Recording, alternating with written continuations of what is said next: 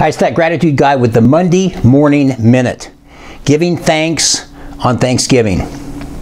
Now, it's my favorite month of the year as it seems a lot of people focus on everything that they are grateful for as they set their sights on Thanksgiving, which is next Thursday.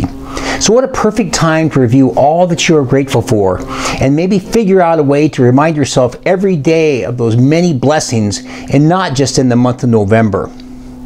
I sat next to a doctor at a dinner I attended the other night, and he said there's really only three things that any of us can control sleep, diet, and exercise.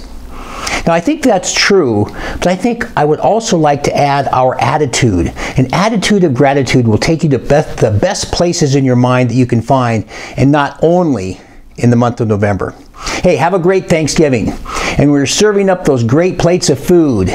Be sure to give thanks on Thanksgiving. I'm that gratitude guy. Remember, be grateful and never quit.